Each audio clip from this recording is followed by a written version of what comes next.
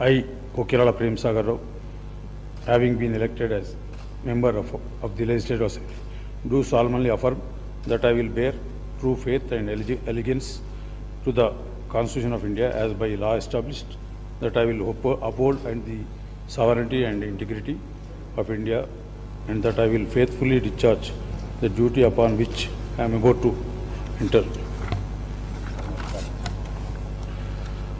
I, Kokirala Prem